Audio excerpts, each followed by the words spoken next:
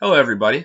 Today we're going to discuss following up after a networking event and how to separate yourself from others and how to put yourself on top for other businesses and other individuals you might want to connect with.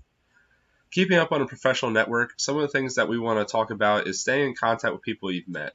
Make sure you want to check up every every week, every two weeks, just to see how things are going with business and individual life.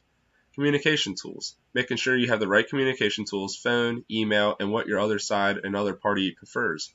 Making sure you're on a mission to help others. If you show that you're helping others and that's your goal, other companies are going to respect that and want you on your side.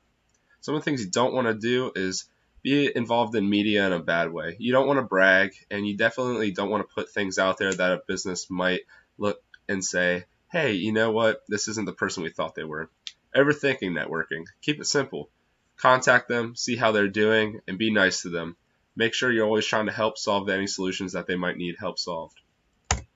Tips for a thank you letter. Actually, put thank you. Might sound funny, but actually putting in there thank you is going to take you a long way. Plug in your skills. Make sure that you're saying, hey, I know I already talked to you about my skills, and but this is how I can literally help you in a way that can solve your problems. Explain to them why you're a good fit on top of that, why you'd be able to fill a need for them that they need solved and recap on all the highlights you talked about. Recap on some of the things you might have learned about them, and then they'll do the same thing for you.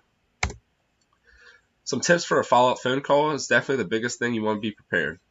Definitely want to make out a list and call in private so that you have all your ideas included to yourself and you can brainstorm some of these and be completely isolated and have all your thoughts to yourself.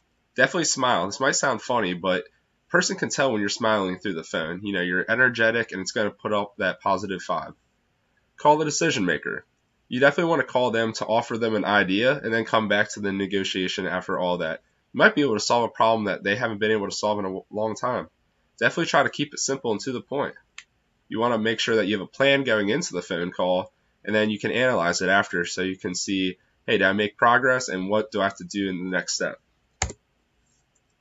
Definitely check out our first job search. They have a bunch of tips on there that not only for following up on customers and current clients, but they give you a bunch of tips that can take you to the next level. Definitely think you could check this out, and this can put you to the next level and give you a bunch of tips from a great website.